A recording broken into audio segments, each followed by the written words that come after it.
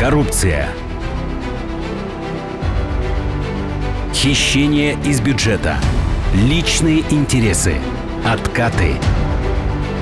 Взятки.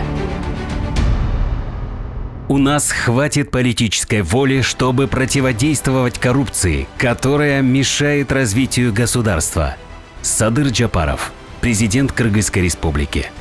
Нет коррупции.